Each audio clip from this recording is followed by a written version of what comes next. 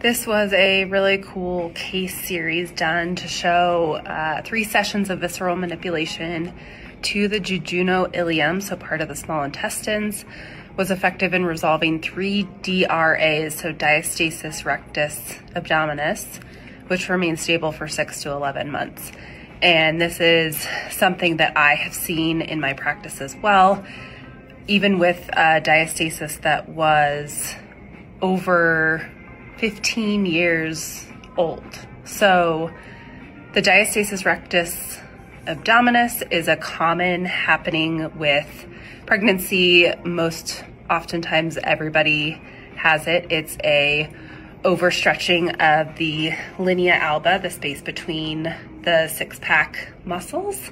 And for some people that doesn't close back up. And so then they have this weakening of the abdominal wall, lower back pain, breathing issues, core activation issues, that kind of stuff.